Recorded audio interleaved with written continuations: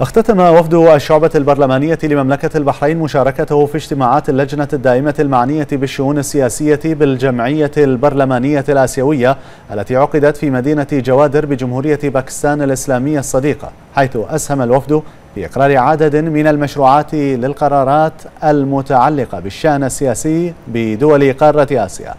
هذا واكد وفد الشعبة البرلمانية الدور المهم الذي تلعبه البرلمانات الآسيوية في النهوض بالعمل البرلماني الآسيوي وقدرتها على تحويل التحديات السياسية والأمنية والاقتصادية إلى فرص تسهم في تعزيز الاستقرار والنمو لدول قارة آسيا. ولإلقاء المزيد من الأضواء معنا من مدينة كراتشي الباكستانية. سعادة الدكتور عبد العزيز حسن أبل عضو مجلس الشورى عضو الوفد المشارك في الاجتماعات. سعادة الدكتور بداية نرحب بك. ولو تطلعنا على أبرز نتائج مشاركة وفد البحرين في اجتماعات لجنة الشؤون السياسية بالجمعية البرلمانية الآسيوية. مساء الخير. أنا أيضا أرحب بكم الحقيقة في إذاعة البحرين وتلفزيون البحرين. الحقيقة الاجتماع آه، استغرق ثلاثة أيام ركز على آه، يعني إقرار تقريبا سبع مشاريع مشاريع قرارات طبعا هو ما يصدر قوانين. إذا تسمح لي أذكرها هو فضل. في أول مشروع وهو مهم جدا مشروع قرار نحو تأسيس برلمان آسيوي.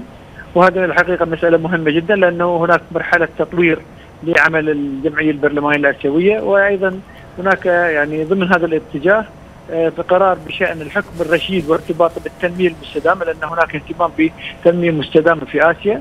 وأيضا آه، مشروع آخر يتعلق بسيارة القانون والتمكين القضائي وعدم التدخل في الشؤون الداخلية للدول الأعضاء.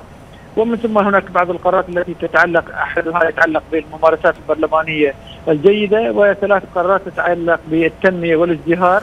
وآخرها قرار يتعلق نعم. بدعم حقوق الشعب الفلسطيني في في أرضه المحتلة. طيب دكتور هل لك أن تطلعنا على أبرز المقترحات التي تقدم بها وفد البحرين لتعديل مشروعات القرارات التي يعني نظرتها الجمعية البرلمانية الآسيوية؟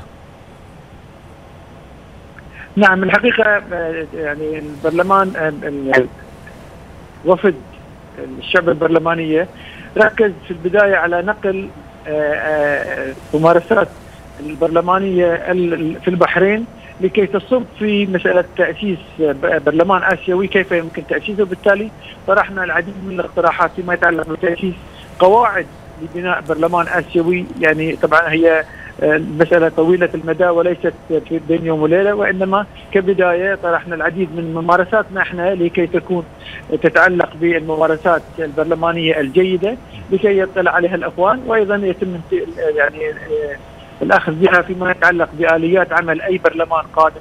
فبالتالي اسهمنا بإسهام مباشر وواضح فيما يتعلق بدعم تأسيس البرلمان الاسيوي لكن كان الإسهام هو نقل ممارساتنا وتجاربنا فيما يتعلق بالعمل الداخلي لعمل العمل المجلس الوطني بغرفته فيما يتعلق ببناء هذا البرلمان.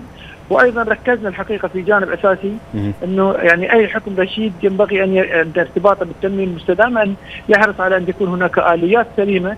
وهذه كلها الحقيقة عكسا لتجربتنا التي اسسها لجلاله الملك المفدى دام عزه وتوفيقه ومن خلال المشروع الإصلاحي لجلاله الملك دام الله يسلمه. نعم اذا ركزنا فيما يتعلق بسيارة القانون والتمكين القضائي على أهمية عدم التدخل في الشؤون الداخلية عندما يتم الحديث عن أي مسائل سياسية وما شابه. نعم، سعادة الدكتور عبد العزيز أبل عضو مجلس الشورى عضو الوفد المشارك في الاجتماعات، شكرا جزيلا لك.